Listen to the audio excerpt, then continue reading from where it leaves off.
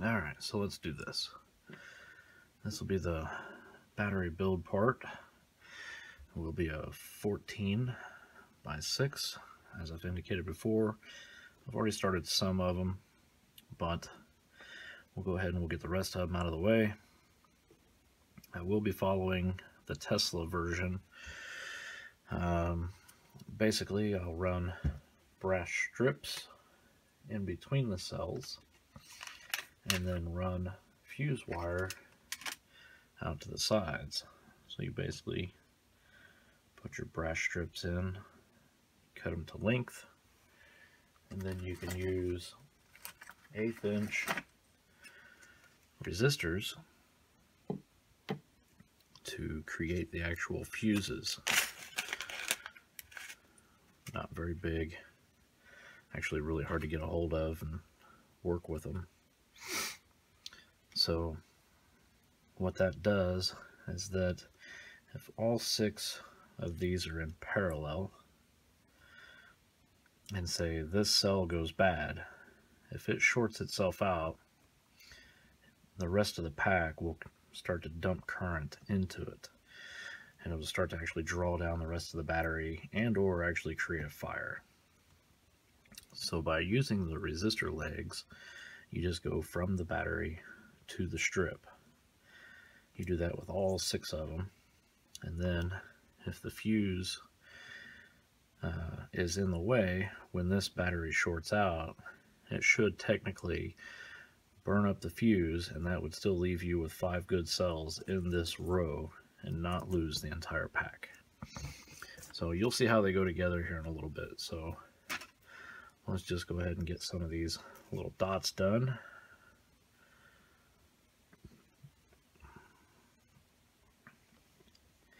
I don't really try to stay on the cells too long. I don't want them to get overly hot, just like anybody else does. Now that I'm sitting on one for too long anyway. Let's go up here.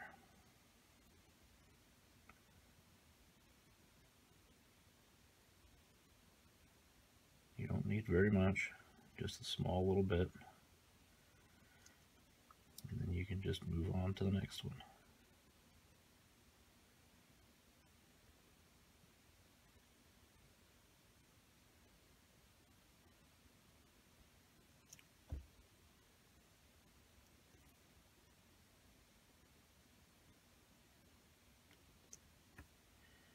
Keep your soldering iron nice and hot. Nice chisel tip on the end of it. That'll spread the heat out a little bit faster. That'll allow these to go a lot faster on here.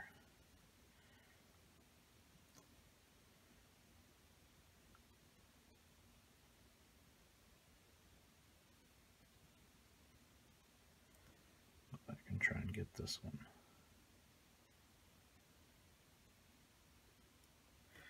There we go. Now obviously these are not so much centered because that brass strip runs up through the middle of both cells so I want to try and set it off to one side at least. So that way I don't set the brass strip right on top of now like some of the other people have actually stated you don't want really big thick solder. You don't need thick solder. You need thin solder so that way it actually melts down quicker and then you can just tap it and go. You don't have to worry about trying to sit on the cells for a really long time with thicker solder, you have to actually heat it up longer to get it to solidify or to uh, melt down and actually stick to the cell. Some people, they prefer regular solder use a flux pen. Some people use solder with flux in it already. That's what I'm using here. This is just what I have have better solder at work, but obviously I'm not at work. So I think this is 0.025 in diameter.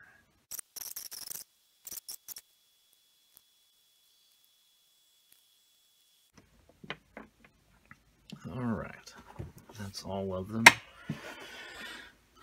Now, as you should be able to see, they are just small, nice little silvery dots. It's not a real big dot at all. You don't need a huge one. You just need enough to be able to make the connection. So let's go with the brass strips now. So ordered mine through Amazon. It's 0.016 thick by one quarter inch wide by 36 inches long. You can order them, they ship them to you obviously, and then once you get a hold of them, you can use them about any which way you want to. If you want to run them all the way down the cells and do it that way without fuses, you can. Or in my case, I'm going to use them in between. So, real easy to cut, nothing major. Just a regular Gerber with a pair of scissors in it.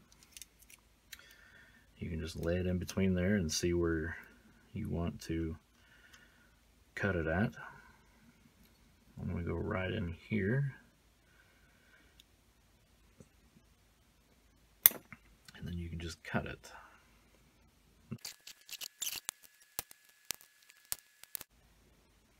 Alright, so there's the last one. Now I don't recommend cutting them over the batteries all the time because you get in a bad habit of doing that. And once you get all these done and you flip it over, if you happen to drop a bar across the cells, they're going to be connected on the bottom side and you're going to have a really bad problem. It's going to arc. So now that we've got that, get some of these little resistors out. Just order them in a 100 pack. And you can use actual wire for the size. I don't remember what the size is, but these just happen to be the easiest.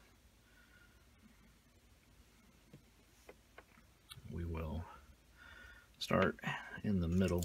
Let's get some of these out of the way so I don't lose them.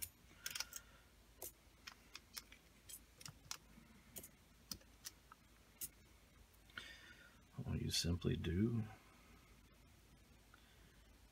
get the solder loosened up again.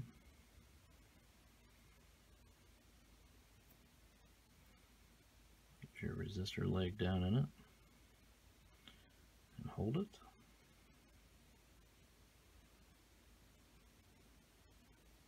I don't like the look of that one. There we go, that's a little better. And there's one.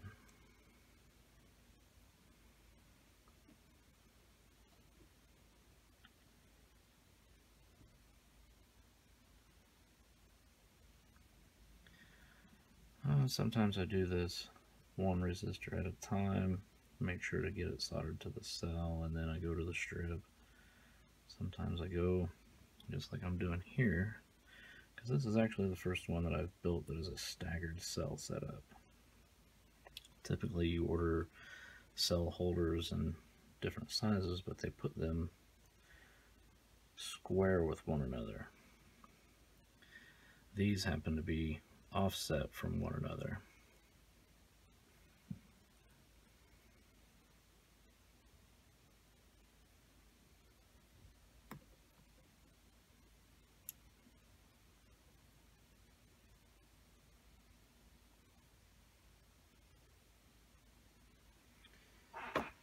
example, these are square ones. So if you run a strip down through the middle of it, the legs would just go straight on across. These are staggered, so this is going to be a first for me. But either which way, it shouldn't be an issue.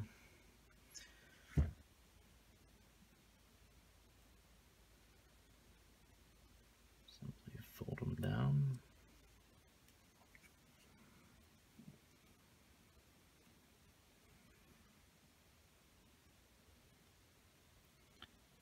solder it to the brass strip.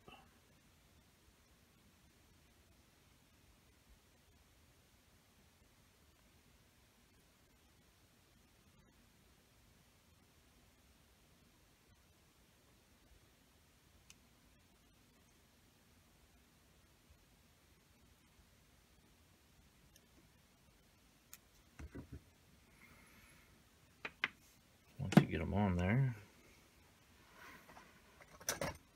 Back with a pair of nippers, side cuts, flush cuts, whatever you want to call them, whatever you want to use. You simply trim it off. Now you don't want to get rid of that because that in and of itself has a whole nother leg on this side. So if this one is too short, which it isn't, if you absolutely had to, you could turn it over and use the other side for a whole nother fuse. So I cut them off, set them over to the side.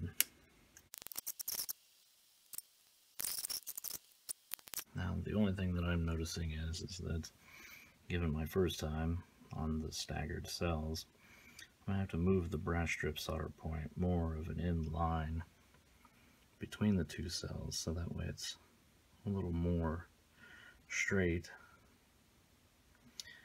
Not only does it look better, but it'll keep from having this regular and then maybe a short leg on this side.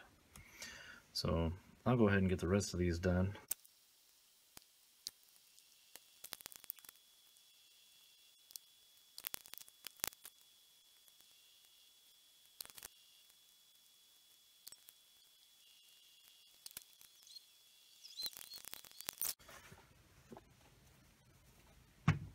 Alright, and like that, the other side's done. That saves about 7 minutes you can burn up elsewhere on YouTube. Now, during the intermission, I did go ahead and take the time to go ahead and make the leads that are going to come out for the positive end. And the negative end, I did pre-tin them a little bit. They're not fully saturated, but they will work. It looks like I did miss some. So I'll catch those up later. But for now, we'll go ahead and we'll get the end leads on. For this, I bring out a little bit bigger of a soldering iron. Just make sure that when you're doing these, don't ever expose the other end of it just for the simple fact that do once you do get this on here actually this is a live pack as it is but you don't want anything touching and getting it to arc because one thing that I do see a lot of videos, a lot of people build packs like this and many other ways, but the one thing that a lot of people don't ever talk about or actually show is cold solder joints. Not a whole lot of people check for them. Cold solder joints would be is that even though it looks like it's soldered from here to here, that it's a cold solder joint and there's not actually a connection from here to here. So in order to do that, I always build my packs and then I check for continuity. Now you can check it a lot of different ways. Some people actually use small LEDs, but I prefer a good old multimeter, set it for sound, and then you can simply start here. I usually choose the battery. I don't choose the solder joint. I choose the battery because that is ultimately the end point. So if it goes to your battery, solder joint, resistor leg, strip. So I just start here and touch the strip. And as you can hear it beeps, so that means I have continuity. That one's good. So you can stay on the strip and just go each battery down the line and check it. Every one of those has continuity between it and the strip. So those are all good. So, now that that's done, as in the other video, this goes into a case. Get the case out here. Make sure I get the right piece.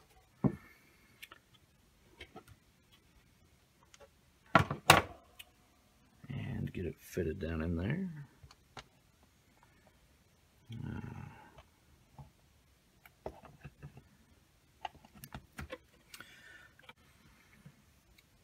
simply tuck this down.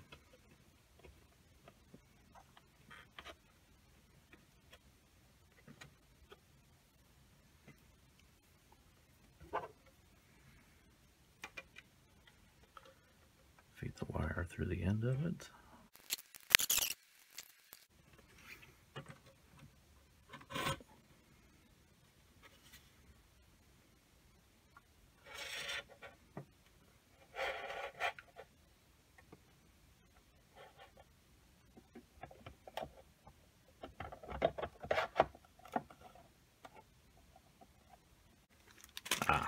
There they are.